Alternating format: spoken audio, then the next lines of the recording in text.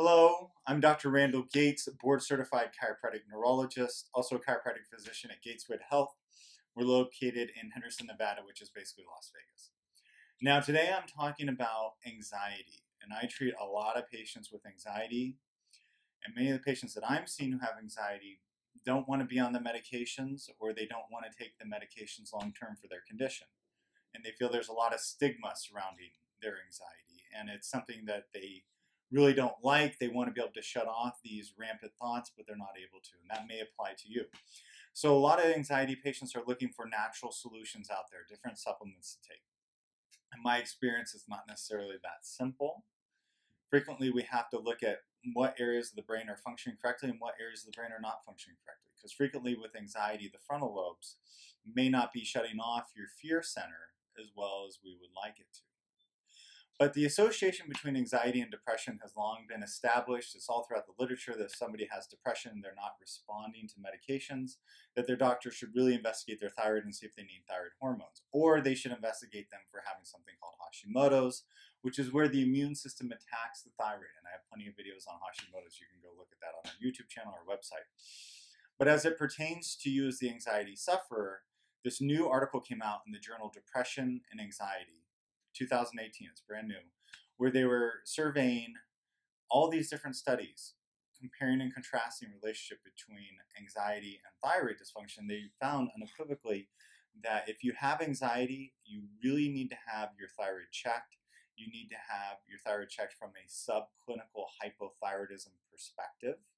And your doctors also have to consider that your brain's communication to the thyroid may also not be correct because when we're chronically anxious, the pituitary gland, our master control gland that controls all of our hormones, can actually change the way it's sending hormonal signals to our adrenal glands, and even the thyroid can be affected in that too.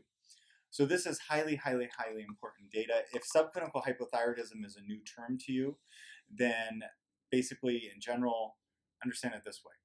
Most doctors are trained to treat you when your thyroid dysfunction is either really high or really low.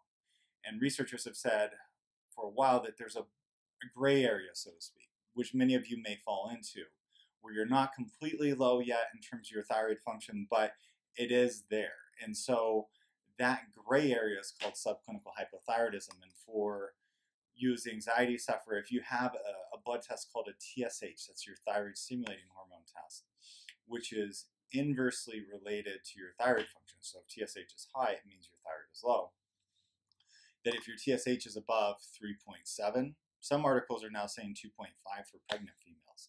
But if it's above 3.7, then that can be an absolute issue for you that you have to pay attention to. Because if you don't have the right thyroid hormones, your brain isn't going to get the right cellular energy to shut off the fear based responses. Also, we have to consider that if you do have a thyroid issue that is subclinical hypothyroidism, then you need to consider that you have probably about an 80% chance that your immune system is attacking your thyroid in that scenario. And if your immune system is attacking your thyroid, then the question is, why is that happening? And usually that's because there are food reactions occurring in the gastrointestinal tract. I just read an article out of the World Journal of Gastroenterology looking at gluten reactions with thyroid, and they found that this this relationship is extremely solid.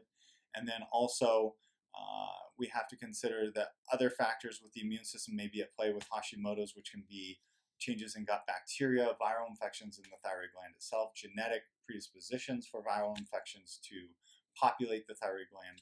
All these factors have to be assessed. So if this is of something of interest to you, uh, the number should be at the bottom of the screen and you can call that number if you have questions relative to your particular case.